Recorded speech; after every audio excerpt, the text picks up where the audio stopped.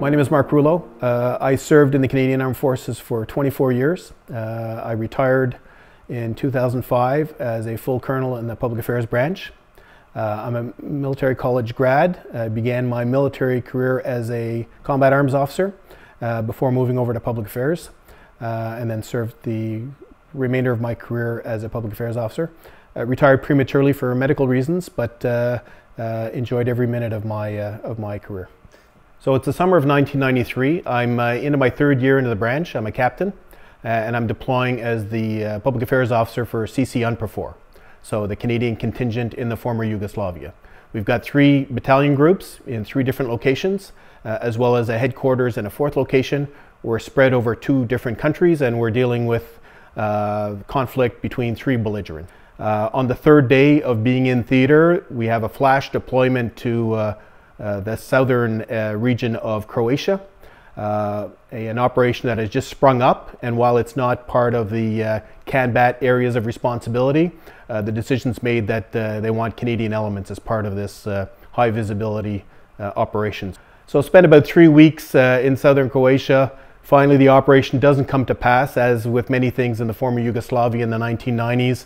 What was planned doesn't end up occurring and uh, we end up moving back north. Uh, the second week of September, uh, the Croat forces in southern Croatia uh, make an incursion into an area of the Krajina. The Krajina was technically part of the new uh, Croatian nation, uh, but densely populated for generations by, by Serbian ethnic Serbs. and so an incursion by Croatian forces who want to assert their a dominance all, uh, over all of their territorial uh, boundaries and, uh, and want to send a strong message to uh, Serbia that the Krajina will, uh, will be firmly in Croat hands. So an incursion uh, that captures this small area, about 20 square kilometers, that had 11 villages and hamlets in it. and the major village was the village of Medak. So it became known as the Medak Pocket. Croatian forces, Croat forces, were those of the uh, Republic of Hrvatska, which is what we know as Croatia today. Uh, the Serb forces in the Krajina, again, were ethnic Serbs, and they were reinforced by Serb paramilitary forces from Serbia, uh, including around the Belgrade area. Uh, and they, uh, there was also reinforcement by Bosnian forces as well. So some Bosnian Serbs into the Krajina, as well as some Bosnian forces loyal to the Croatians who were uh, working with the, with the Croatian uh, paramilitary. So uh, a toxic mix and a complicated mix. And one of the first things we discovered when we were on the ground was uh, just trying to get a handle on who was who and who was aligned with who was more complicated than we had seen in previous Canadian Forces operations. The incursion occurs on the 9th and 10th of, of September. Uh, and the decision is made once again, much like with the operation the month before, where CANBAT 1 was deployed from northern Croatia, where it was based and where it had its area of responsibility. Uh, it's deployed precipitously to the southern region to uh, respond to this, uh, this, Croat, this Croatian force incursion. Uh, so uh, I deploy with the battalion group, and as luck would have it, the fact that we went through pretty much the same process a month before when I was brand new on the ground, it had allowed me to get to know the unit, uh, to uh, establish some credibility uh, with the key players, and to really understand how 2PPCLI uh, battalion group functioned. Uh, so that kind of dry run, not that we knew it at the time, but the dry, that dry run ended up being very useful for what would become the, uh, the Medak pocket operation. So deploy with 2PPCLI, uh, fairly difficult journey to get there because of the various checkpoints. We were crossing over from Cro Croatian controlled zones to Serb controlled zones, including the infamous Karlovac crossing, which was notorious for causing long delays and, uh, and was often a flashpoint from uh, in terms of violence. Um, so uh, a difficult journey to get to where we're going.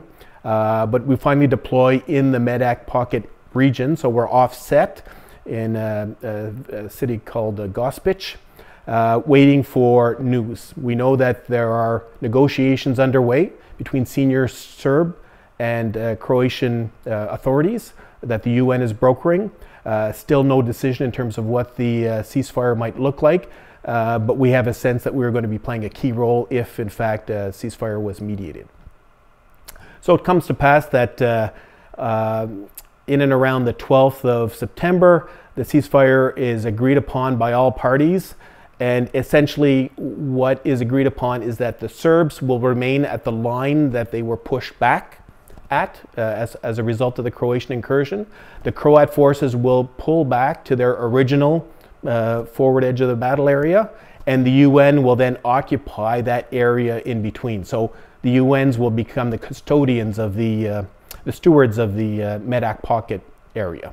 And uh, all parties at senior levels agree to that arrangement. So three phased operation. Day one, we are to occupy the Serb lines.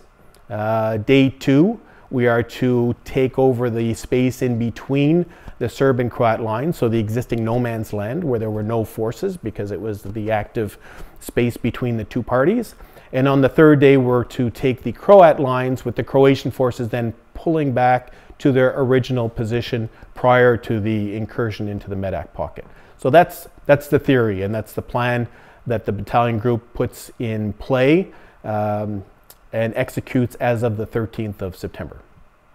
So we go in on day one on the 13th of September and take over the Serb lines. No, no major friction there. The Serb forces on the ground are expecting us. They cede to our arrival. Again, they're not moving anywhere because they're maintaining the lines that they were pushed back to. Uh, but they, uh, they take us in without any, any issues. However, uh, we do take almost from the outset significant fire from the Croat side. So ostensibly, the narrative would become that they were uh, firing at Serb forces who were firing first at them, and that we just kind of got in the way because we were integrating the Serb position. Uh, but it's clear to uh, us that uh, that the Croats are perhaps not thrilled with the arrangement on the ground uh, and are uh, manifesting their displeasure. So that's day one.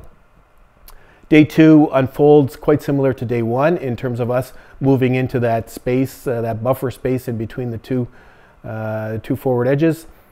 Uh, we continue to take intensive fire and it's all from the same direction. So the Croats uh, are clearly targeting Canadian elements because we're no longer co-located with the Serbs by this point. We've moved forward of them and yet we're still uh, under significant fire.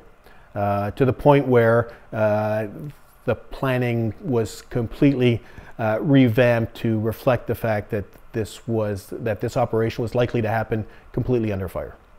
On day three, so the 15th of September, uh, we're moving to the Croat lines. Uh, there's a strong sense within the battalion group that this is kind of going to be the pivotal uh, moment because it's clear that regardless of what their masters at higher levels have negotiated in terms of a ceasefire and an acceptable arrangement to all parties, it's clear that the Croatian forces on the ground are not pleased about having to push back and perhaps don't agree with uh, having to push back. And let's not forget that in the initial incursion in the second week of September, they had lost significant forces in making the push and capturing the Medak pocket. So that was obviously very uh, clear uh, to them, and, and the notion of them unilaterally stepping back to let Canadian forces fill the void was, uh, was, was clearly not a welcome one. As it happened, so I'm, I'm in the middle of this, of this column uh, in our vehicle. We were mobile, we were armed and mobile uh, throughout the operation, which was critical, and I'll get to some of the elements that maybe uh, led to our being effective um, a little later on. But we're halfway through the column, and as it was, there were no media in the area when we arrived.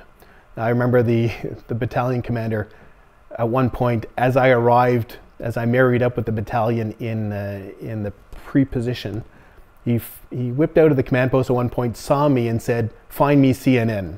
You know, it was, it was right out of a movie. Now, in today's environment, that would make a lot more sense, but we're talking about 1993, and we're talking about an environment where Bosnia was very much the highlight, and anything that was happening in Croatia was seen very much as backwater. There were no international journalists deployed in theater, and there was very little interest in what was happening in Croatia the, the, the, the, the, the, trigger was, was Bosnia, clearly. As it happens, there was a Reuters crew that had stumbled upon us the day before, so on day two of the operation. They showed up unannounced in theater. It was uh, stringers out of Belgrade, uh, which would cause problems uh, within a 48 hour period, but they were there uh, representing Reuters, uh, and so we were very pleased to see them. and right away uh, we embedded them within the battalion. Now this is in the days before embedding was a, uh, a term that, uh, that has taken on some significance, but we integrated them into the battalion. So they, they, they were with me uh, 24 and 7, they followed me, they had the same access I had, uh, and, uh, and it was clear that they were there to capture what was going to happen with this operation. So I speak to the OPSO and I remind him of the fact that we've got an international news crew uh, who uh, that is co-located with us, and that uh, maybe we might want to consider moving them forward to be able to capture the toing and froing that's going on between the Croatian commander and our uh, and the battalion CO. And one of the things that the battalion CO was very clear on was all of the structure around the ceasefire agreement. So we actually had the documentation signed by all the parties at senior levels. Uh, so we felt we were on very solid ground in terms of getting access to their lines and having them push back. So uh, the idea is discussed with the CO and it's decided that we're going to bring them forward. So a stalemate that had been going on without any progress for a number of hours. Uh, all of a sudden, we've got this Reuters crew that are filming the unit CO demanding that the Croatian commander respect the terms of this agreed upon uh, official um, arrangement uh, and, and cede his front line to UN forces uh, as the new custodians of the area and push back to the former uh, and it's, uh, it's, it's rock solid in terms of the documentation. It's clear that he has the upper hand. Within 15 minutes of Reuters filming this exchange, the Croat commander cedes, uh, orders his forces to pull back, and grudgingly they give way, and we take over the, the third portion of the, of, the, of the area of operation as per, as per the ceasefire agreement in, in a strong way, uh, the employment of media uh, in the area of operation was very much a tactical and an operational force multiplier for us. Uh, the question of how long it would have taken for us to get through had we just continued the same approach that we were using before we brought the Reuters crew forward uh, is debatable, but uh, things were going nowhere fast. Now, once we took over the Croat lines, uh, again, they pushed back very grudgingly and there were a lot of friction points and uh, aimed weapons and warning shots from both sides, and it was a very tense situation. They ceded the ground that they had won very reluctantly. At one point in the process of that happening, it, uh, it came known by the Croatian forces that the Reuters crew was, in fact, uh, were stringers out of Belgrade, so they were Serbs and uh, at that point, when that became clear, it was obvious that we had to get them out of the area of operations uh, immediately. And so we quickly uh, uh we packaged them up in, uh, in one of our vehicles. In fact, they weren't riding in my vehicle anymore. We put them in one of the M113s because of the heightened threat and brought them back to Gospic and they went on their, uh, their merry way on day two of the operation, so the, the period where we're moving from the Serb lines into that space in between the Croatian and Serb lines, we started to see uh, about a dozen plumes of smoke rising from behind the Croat front edge. And it became clear to us in a hurry that we were witnessing ethnic cleansing. That the Croatians, understanding that they would eventually be required to cede the ground that they had won, would ensure that it would never be uh, that it could never be uh, lived in again by um, any of the other cultures. So they systemically destroyed uh, the villages and hamlets that were within the Medak pocket as they withdrew, and we were powerless to do anything about it because uh, because of the schedule, the timetable of the arrangement, and for us to have pushed it forward would have caused significant uh, uh, diplomatic uh, and military repercussions. So our only hope was that because the pocket had uh, had been taken earlier, that most of the population had fled uh, in advance of that, or as that un unfolded, so that what we were seeing was hopefully uh, more about material destruction than it was about uh, about the ethnic cleansing of of, of actual members of the population. So we take over the Croat positions, and what we had feared, we see in Technicolor. So fires raging everywhere, just about every dwelling on fire or destroyed. uh, the use of explosive devices, mines, and grenades uh, to accelerate the destruction of a lot of these uh, uh, these dwellings. We saw things like that that that were very difficult to process, especially uh, when it was our first experience with ethnic cleansing. The other significant part was that this was the first time that Croatian forces had been caught red-handed in terms of ethnic cleansing, which would have uh, serious repercussions from a war crimes tribunal perspective in the years which followed. On a deployment like that, uh, there were a ton of firsts, and uh, one of the firsts was a way in which myself and my imagery tech were employed, which we could have never have dreamed of before our deployment. And that was because of this emphasis on war crimes, we had RCMP elements who were attached to the battalion group, uh, as well as uh, other CivPol members. Uh, none of them had the ability to visually capture uh, incidents of suspected ethnic cleansing. So this quick and ready solution was every time we found uh, uh, people who had been killed under what seemed like uh, uh suspicious uh, circumstances, especially civilians, including the elderly and the very, very young. Uh, I was called out with my imagery tech to capture on video and still photography the scene before it was it was taken care of and and the, the, the people involved properly disposed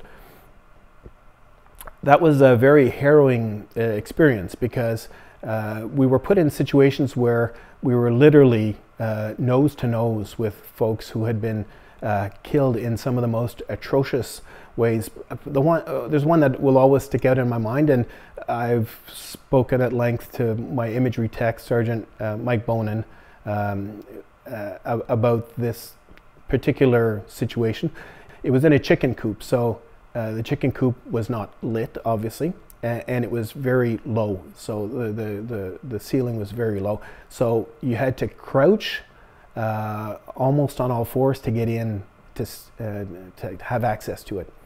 And there was two females, uh, one uh, in her, I would say 40s or 50s, although often difficult to tell age from a population that has a very rural, very rudimentary lifestyle, but uh, probably uh, in her 40s or 50s, and uh, another female who looked very much like her, probably in her late teens, early 20s. So we had a strong sense that it was probably mother and daughter. They were both laid side by side, uh, and they were tied together, and uh, their the chicken coop and their bodies had been set on fire. Um, and for whatever reason, the fire had extinguished at some point, and so they were burnt to the point of being completely uh, uh, not discernible from the waist down. And yet, from the waist up, they were almost uh, the, physically they're almost completely intact, a little bit rubbery from the effects of the smoke and the heat, uh, but otherwise uh, very normal. So you had this, and for us to get in to film it and to photograph it, we were literally right on top of it. And it was a very harrowing scene, one that I've never been able to forget, and one that really drove home the fact that we were in a new environment, a new conflict environment, one that didn't have maybe a lot of the rules of previous conflict environments, and one where public affairs, for want uh, or for better, was going to be playing some diverse roles, including including this one. So uh, it, it was a real eye opener.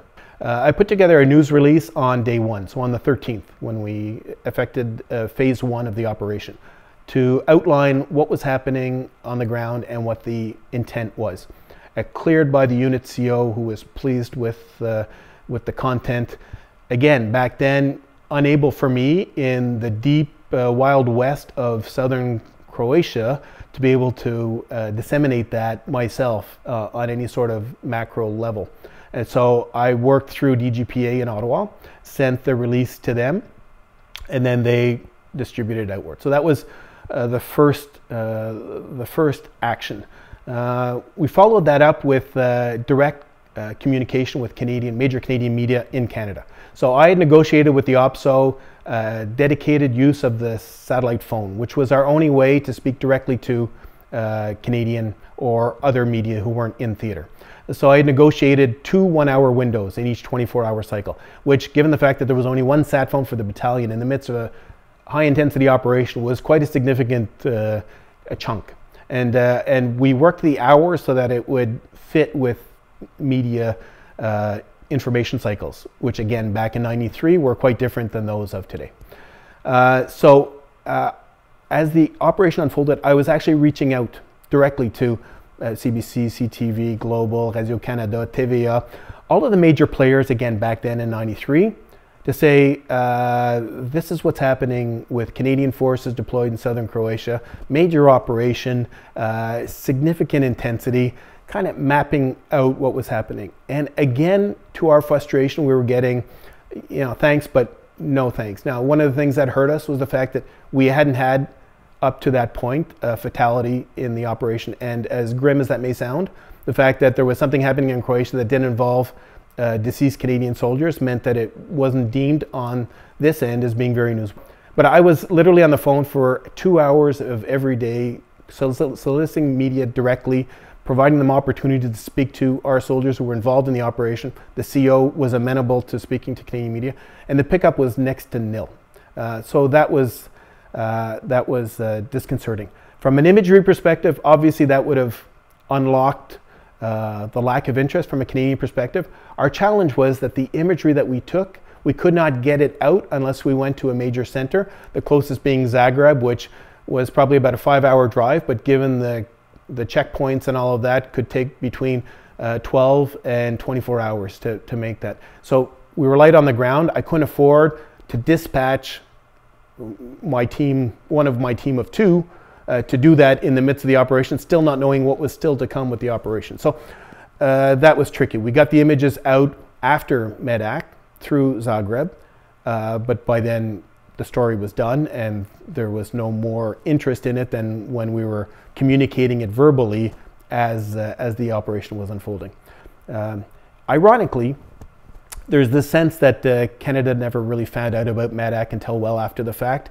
Ironically, it was quite highly publicized in Europe because the Reuters crew, when they left our uh, mission area, they went back to uh, Belgrade uh, and the visuals and the content went out and it played fairly substantively in, uh, in continental Europe and in the UK. And uh, for many of those audiences, they knew full well what Canadians had done at Medak.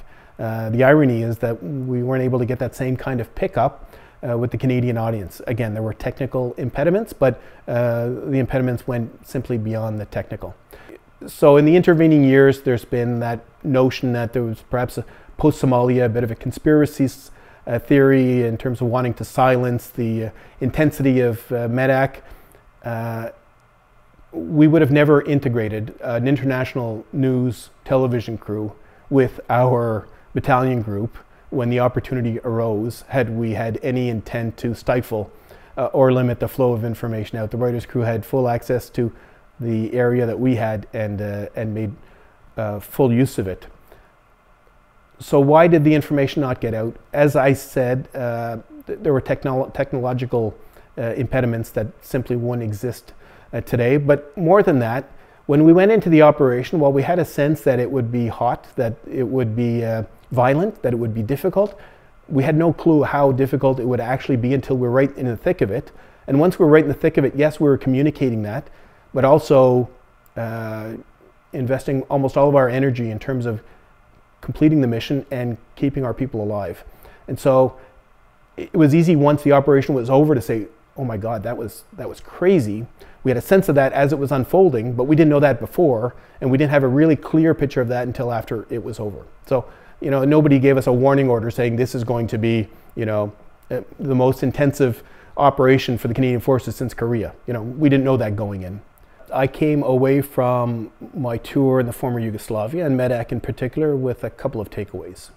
The first was a recognition that uh, the employment of media on the battlefield and the ability to influence or shape perception around a military operation uh, was now absolutely fundamental to Canadian Forces operations uh, of the future.